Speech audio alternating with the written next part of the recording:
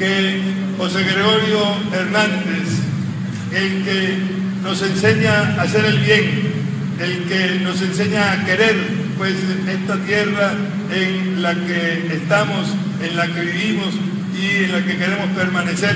para bien de todos, sea quien bendiga,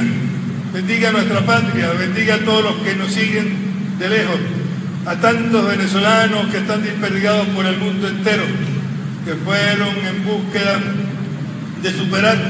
las carencias que aquí tenían y que esta circunstancia que estamos viviendo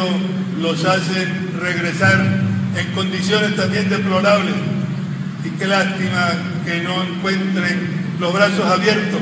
para que sean recibidos de nuevo en su tierra, sino que son los fusiles los que les impiden atravesar la frontera y llegar de nuevo a reunirse con sus seres queridos. Tenemos una gran tarea por delante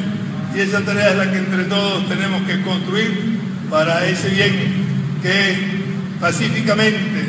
pero con respeto de los unos con los otros, con profundo sentido de solidaridad,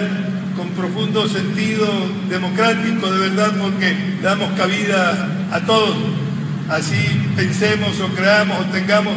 diferencias de cualquier tipo, de tipo social, político, religioso, económico,